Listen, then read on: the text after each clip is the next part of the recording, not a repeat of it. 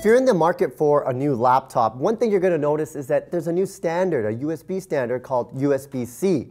And one of the issues, Sherry, is that you have these legacy devices, these typical USB devices, and then you're going to have these new USB-C devices like computers and, and laptops. Well, you're going to need some accessories, and today Sherry and I are going to show two accessories that you must get if you are going to get a laptop that supports USB-C.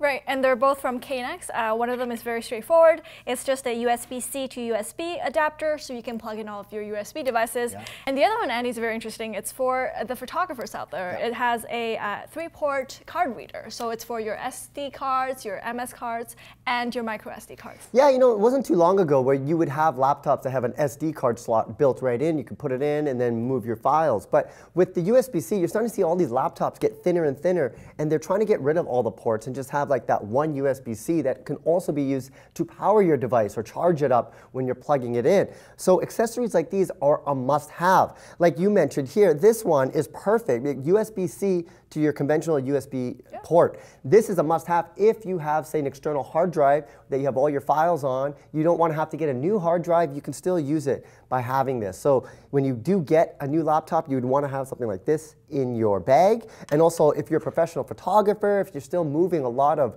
say, SD or micro SD cards and transferring content from your laptop or vice versa, this is a must-have as well. Again, something else you would want to get it in your bag. We recommend if you do get one of these new USB-C supported laptops is to buy these accessories right away because at some point in time you're to need it. Again, they're from Kanex and they are USB-C accessories for your laptop. Got to check them out.